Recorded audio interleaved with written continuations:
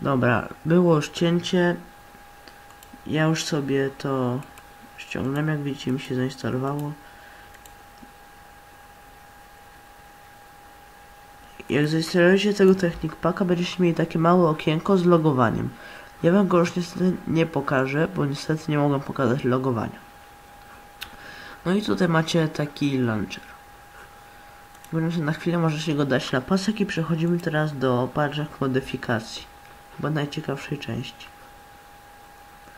Tu macie mody, wyszukiwanie, filtry, strony. Ja sobie na przykład wezmę tego moda. Modpack. Tutaj macie opis tego wszystkiego.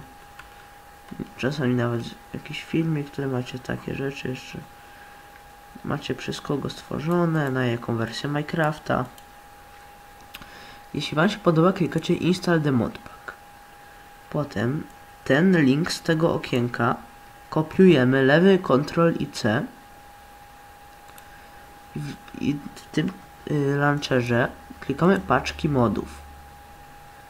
Tutaj w tym okienku Add Pack y, i coś tam klikamy lewy Ctrl i V.